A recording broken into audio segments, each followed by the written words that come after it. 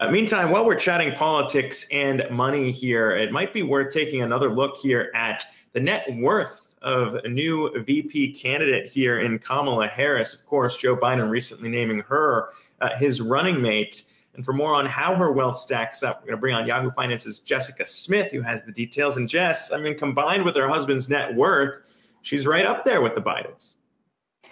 Yeah, and one of our Yahoo Money reporters actually went through and wrote the story. She crunched the numbers, and this is what she came up with. She says that Kamala Harris and her husband Doug Emhoff have a net worth of 2.4 million to 5.6 million dollars, according to financial disclosures from 2019.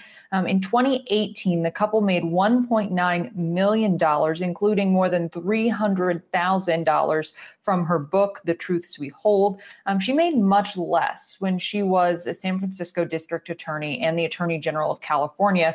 During those years, she made between 128,000 and 158,000, um, so much less. And then she started to get an income boost when she and her husband, another lawyer, um, got married in 2014. Then they started filing jointly. Um, the couple does have three homes: one in D.C., one in L.A., and one in San Francisco. In Forbes says they have a total value of 5.8 million dollars. So Harris and Biden, um, among the wealthiest who of the candidates who were running for the Democratic nomination, other than, of course, you have Mike Bloomberg, Tom Steyer, billionaires. So they're in a whole nother category here. But yes, Harris and Biden were among the wealthiest in the group.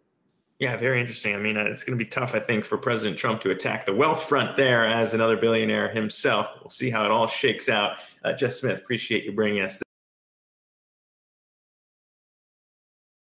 Hey investors, Zack Guzman here. Are you interested in learning more about the markets and getting the latest financial news? Well, then click right here to subscribe to our Yahoo Finance YouTube channel.